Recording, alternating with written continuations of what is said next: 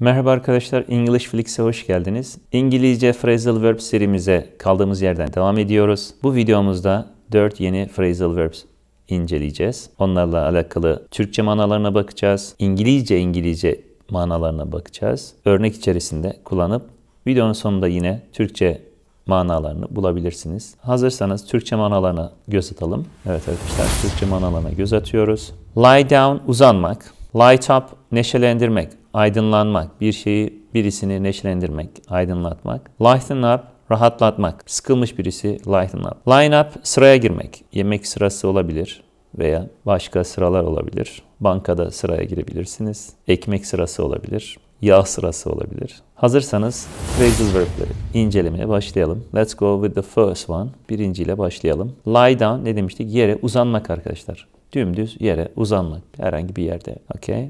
To move into a position in which your body is flat, usually in order to sleep or rest. Düzgün bir şekilde yere uzanmak, dinlenmek. I need to lie down and take a little nap. Uzanıp biraz kestirmem gerekiyor. İkinci phrasal verb bakalım arkadaşlar.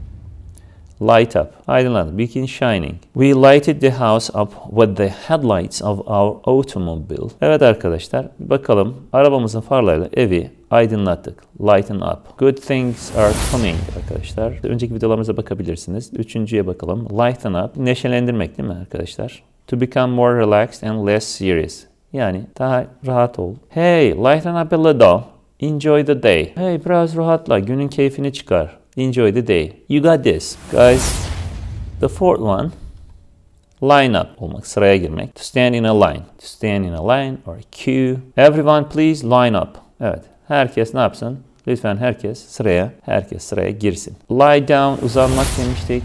Lighten up, light up, neşelendirmek, aydınlanmak. Lighten up, rahatlamak, yine neşelenmek. Line up, sıraya girmek demekti. Videomuzun sonuna geldik. İngilizce phrasal verbs konusu anlatmaya devam edeceğiz. Önceki veya sonraki videolarımızda bakabilirsiniz. Bizi takip ederek yayınladığımız diğer videolardan haberdar olmak isterseniz bildirimleri açın. Kanalımıza abone olun. Videomuzu beğenip paylaşırsanız bize destek olursunuz. English Flix ile kalın.